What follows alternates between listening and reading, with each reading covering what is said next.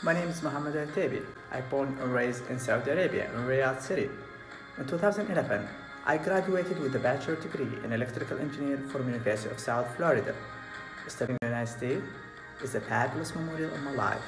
Today, I decided to repeat this moment to complete my MBA with the Georgetown University. I have been always interested and active in business schools and establish new businesses. At the same time, I like to learn different culture and different perspective. So I love traveling around the world. Up to date, I have visited more than 35 countries. One of my traveling activities is trying new foods because I'm a great chef and I like cooking. I do many international dishes and mixing flavors to come up with a new meal. After eight years of experience in the oil industry, I have the passion to join Georgetown MBA program.